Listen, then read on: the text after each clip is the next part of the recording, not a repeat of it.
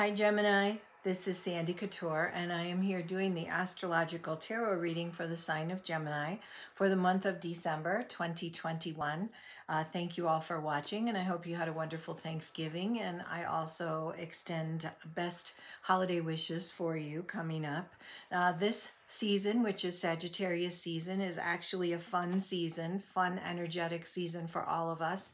Sagittarius energy is all about expansion, joy, um, uh, enthusiasm, loyalty, um, action, adventure. So there are not a lot of hard aspects going on either astrologically this month um, at least until the 14th. And even at that point, it's not hard. Although for you, Gemini, there will be a new moon in Sagittarius.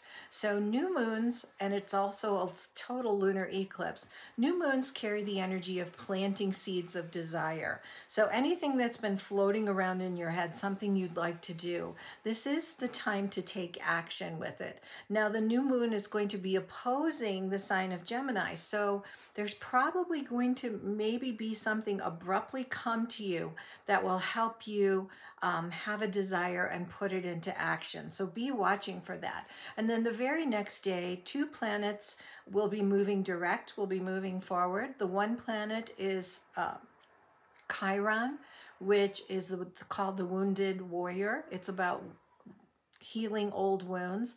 And the other planet is Saturn, which is a planet of manifestation and crystallization, but also a, a planet that makes us take a hard look at what we're doing that is no longer serving us uh, because once you let go of that dead weight, you can move forward at a more accelerated pace. So um, that's going to be happening on the 14th and 15th. I'm very excited about what might be happening for people. If you have any feedback for me, leave it on a comment. I'd love to read it.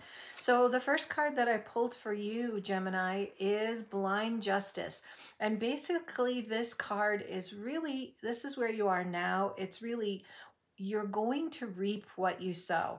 So whatever you're doing on a day-to-day basis, um, energetically will come back to you tenfold. Remember, you will always reap what you sow. You know, my best um, best advice to everyone is be kind to yourself, to others, to situations, and take a beat before you make any action plans. So the surprise or challenge card, it's kind of a nice surprise card. It's the Nine of Cups, and the Nine of Cups is a is a card of well-being and happiness and joviality fits right in with Sagittarius energy. So it's like you're going to reap what you sow, but it looks like what you've been sowing is is love and kindness because it's all coming back to you and well-being, uh, material well-being too. The process for you to get through the month is to take the journey this woman is on a boat, which the water is emotions, but swords are an air card, all about thoughts. She has six swords, and six is always a good numerological number. It's about well-being and balance. But she's on a journey with the full moon or intuition behind her. So this is a combination of all of the elements Gemini, maybe it's asking you to get out of your head and allow yourself to feel and intuit what's coming to you, not just thinking and figuring it out in your head.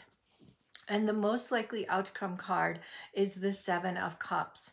Now, the Seven of Cups, depending on where it comes in a reading, it can mean um, having too many choices to know what you want to do and to try to focus yourself. But at this most likely outcome card, it seems as though there's a lot of wonderful things that are going to be presenting themselves in your life.